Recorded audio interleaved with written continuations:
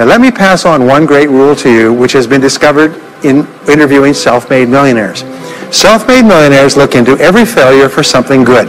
They say there's got to be something good in this that I can benefit from and surprise, surprise, they always find it. Second is self-made millionaires always seek the valuable lesson in every setback or obstacle or temporary failure and they always find the lesson. Now, what do failures do? Failures whine and cry and think about what they've lost and blame their problems on someone else. Successful people say, what can I learn from this that will make me smarter next time? And my promise to you, those who seek find, is if you go looking for a valuable lesson in the biggest problem that you're facing today, you'll always find the lesson. Here's another possibility. Your biggest problem today could be the biggest gift that you have ever received because it may contain within it the lesson that will make you successful. If you stop thinking about what happened and who's to blame and you start looking for the gift within your problem, sometimes it can transform your life. The next key is to dedicate yourself to lifelong learning. Now, what takes you from rags to riches is personal development, personal and professional development. In the 21st century, as Peter Drucker says, knowledge and skill are the keys to the 21st century. And the only thing that will be relevant, the only skill that will be relevant in the 21st century is the ability to learn new skills. Because virtually everything you know is becoming obsolete at a rapid rate. Stephen Covey says that your current knowledge base has a half-life of two years which means that half of everything you know will be irrelevant within two years. And two years from now, half more. So if you're not continually learning and upgrading your knowledge and skills, you're not staying in the same place. As Pat Riley says, the basketball coach says, if you're not getting better, you're getting worse. If you're not constantly learning, you're actually falling behind. So here are the three keys to continuous learning. Number one is read in your field 30 to 60 minutes each day. In other words, turn off the television, turn off the radio, put aside the newspaper, and just read in your field. The very best places to read, by the way, are books.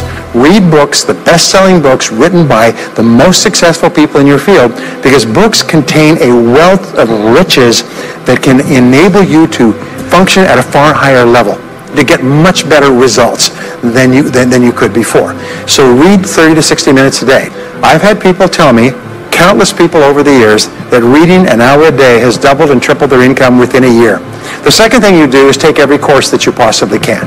The courses and seminars that are available to you in your field that are given by professionals that are courses that have been developed over years and years and years. They have been tested and tested and tested. The person who is talking to you for several hours has spent thousands of hours learning their subject.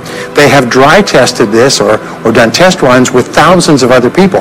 When you take a course, you can learn enough information in one or two days more than you could learn in two or three years or maybe even a lifetime, all distilled and put together. People say, I can't afford a course. You cannot afford not to buy books. You can't afford, not afford not to go to courses. Some years ago, I had a dentist, and he was a very successful dentist. I was recommended to me by a friend. And this dentist retired at the age of 53. And just before he retired, he sold his practice for about $2 million. Just before he retired, he told me why. He said about that. eight years before, he had attended a dental con- congress in Hong Kong. From, this is from California. He'd flown all the way to Hong Kong to attend this international dental congress because there were specialists giving private lectures, sort of plenary sessions on the side. And he attended this session, and it was on a particular technique of cosmetic surgery that this dentist had developed that no one else knew, where you could basically straighten out a person's entire front jaw so they look beautiful at a very low cost, at a very high level of effectiveness.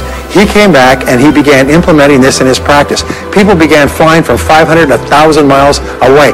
Every dentist sent their, their families, members, and themselves to this dentist. He was able to charge whatever he wanted to charge.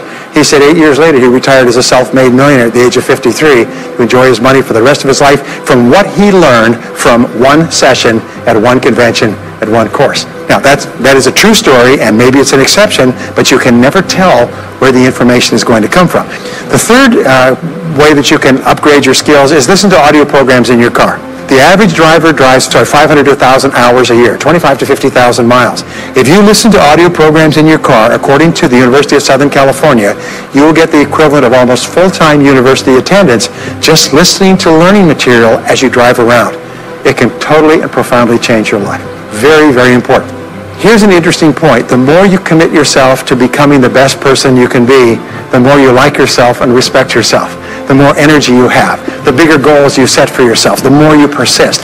When you invest in yourself and you read and learn and upgrade your skills, you're telling yourself, wow, I am a person with a great future, and it's up to me to maximize my potential. And your self-esteem goes up, your self-respect goes up, your sense of personal pride goes up, and you started to get promoted more and paid more uh, in, in every part of your life. Get around the right people. This is a key for becoming a self-made millionaire. Dr. David McClelland at Harvard did studies for 25 years looking into why it is that some people succeeded greatly in life. What he found was as much as 99% of your success in life is going to be determined by what he called your reference group. Your reference group are the people with whom you habitually associate. They're the people that you associate with at work, the people you associate with home, your church, your political party, your social circle, what he found in working with people is that changing a person's reference group totally transformed the way they think. Why? It's because we are like chameleons and we absorb through the skin the attitudes, the opinions, the behaviors, the style of dress, the style of speech of the people with whom we associate most of the time. If you start to associate with winners most of the time, you find that they have a totally different worldview. They're positive, they're upbeat, they're focused, they're learning, they're growing, they're positive at what they're doing, and you start to become like that. Next is be prepared to climb from peak to peak. One of the keys to becoming a self-made millionaire is to realize that life is never one continuous train. It's always up and down. So it goes up. Like if you climb a mountain peak, you have to go down into the valley before you climb the next peak. So all of life is cycles and trends. All of life is cycles and trends. And there's up cycles and there's down cycles and there's uptrends and there's downtrends. The question is, what is the general direction of your trends? We say this, is that life is two steps forward and one step back. Successful people focus on the two steps forward and then they protect themselves on the downside so that each time there's a step back, they're still further ahead than they were before. The next one, which is to develop resilience and bounce back. Developing resilience and bouncing back is one of the key qualities of self-made millionaires because as I said right at the beginning, most things won't work. this is a very interesting point, is that you're going to be knocked down over and over again. And what we know, as my friend Charlie Jones says, is you have to bounce, don't break and, when things go wrong, bounce.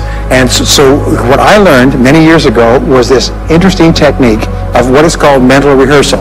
And mental rehearsal says that you mentally prepare for the inevitable downturns before they occur. So you say, all right, in the course of life, things are going to go wrong, but when they do, I'm not going to become upset. I'm not going to get mad or angry or anything else. I'm just going to take it and learn from it and pick myself up and keep going. Sometimes I ask this question, does anybody here have any problems? Everybody says yes, everybody's got problems. Well, here's the rule, is all of life is a continuous series of problems.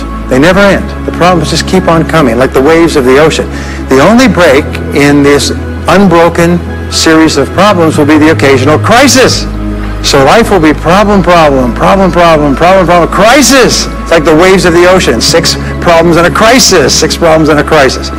Which means that everybody here is either in a crisis right now, has just gotten out of a crisis, or is just about to have a crisis. So what we have found is this. The hallmark of superior people, 30 years of research, is how you respond to a crisis. How you deal with problems and how you respond to a crisis. And what we found is this, is superior people look for the solution to every problem. They don't allow themselves to become upset and angry when something goes wrong. They say, okay, what's the solution? And they become intensely solution-oriented. When you have a very intense problem, that stimulates creativity to solve the problem. So what you do is you write and define the problem clearly. If you have a problem, you say, wait a minute, what is my problem? What is it that I'm worried about? And write it down. And the very act of defining a problem clearly often triggers the solution to the problem. One last technique that I want to give you with regard to your major definite purpose. And if you only do these two things as a result of our time together, they will transform your life. You've already identified the one goal that can have the greatest positive impact on your life. Now what you do is you take that goal and you write it at the top of a page in the form of a question. And you say, let us say you, your goal is to double your income. That could have a major impact on your life. You say, what are all the things that I could do to double my income in the next 12 months.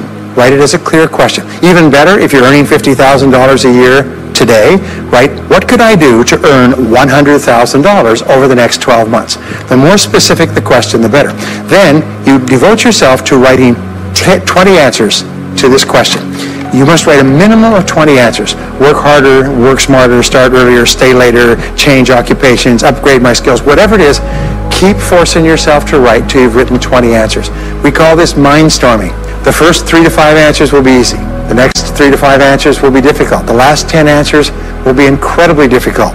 But I have given this exercise to people who've gone on to become millionaires so many times I've lost track because they often find that the 20th answer changes their whole life.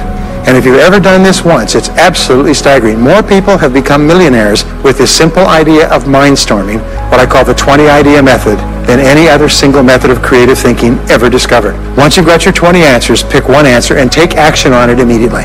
Once you've got, it doesn't matter what it is, just take one answer and take action on it, and that will keep you thinking and acting creatively all day long. And the next key to becoming a self-made millionaire is to become an unshakable optimist. Unshakable optimist means that you think and talk about what you want most of the time. Optimists think and talk about what they want. They look for the good in every situation. They seek the valuable lesson. They're constantly feeding their mind with great ideas, which opens up new perspectives. What I have found is that optimists have three wonderful qualities. Number one is they learn more things. As a result, they dramatically increase the likelihood that they will learn the right thing at the right time. Number two is they try more things, which dramatically increases the likelihood that they'll try the right thing at the right time. And number three is they persist. They never give up. Optimists make a decision that once they've decided they're going to become wealthy, they just never stop until they achieve that goal. Now, will they have many setbacks and obstacles and difficulties? You know that almost everybody succeeds in a different direction from what they originally intended or from what they originally thought? But they just keep going. Almost like a football player running down the field, running, blocking, changing, moving back, forward, continuing, but never loses sight of the goal. So optimists learn more things, try more things, and persist longer. I want to leave you with the last two qualities of self-made millionaires. Second to the last quality is that they develop the qualities of courage and persistence. I said before the biggest single obstacle to success is the fear of failure. The antidote to the fear of failure is the habit of courage. And what we know is that you need two types of courage to succeed. The first type of courage is the courage to begin. It's the courage to launch with no guarantees of success. Someone once said that if all obstacles must first be removed, nothing will ever get done. So successful people are willing to think, plan, make decisions, and then take action with no guarantees. We say leap and the net will appear. Take action with no guarantees and then learn. The second part of courage is the courage to endure. It's the courage to persist. It's the courage to keep on keeping on. It's to make the decision in advance that you will never give up. No matter what happens, you will never give up. You will get knocked down over and over again, but you'll never give up. And the interesting thing is when you make that decision in advance, you'll find yourself continually bouncing back. So courage means, means the courage to begin and the courage to endure. And the final quality of self-made millionaires, and Napoleon Hill called this the master key to riches.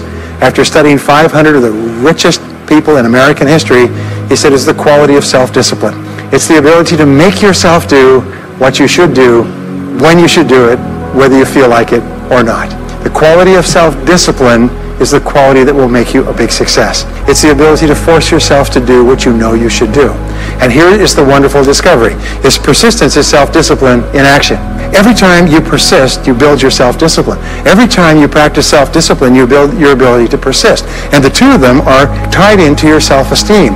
So the more you persist, the more you like yourself. And the more you like yourself, the more dis- discipline you have. And the more discipline you have in practice, the more you like yourself. As a result, the more you persist. And eventually you get onto an upward spiral where you become absolutely unstoppable. You reach the point where you know you can achieve the goal and nothing in the world can stop you. And every step that you take forward makes you stronger and stronger and stronger until finally people say, I know one thing about him, I know one thing about her.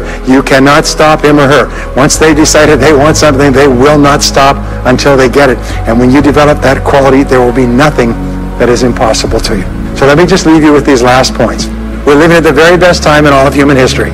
More people are going to make more money in the next few years than had ever been made in all of human history. More people are going to become millionaires and are becoming millionaires today at a faster rate than we've ever thought possible. And no one is better than you and no one is smarter than you. And if you do what other self-made millionaires do, then nothing in the world can stop you from eventually getting the same results as other self-made millionaires. And I hope you do.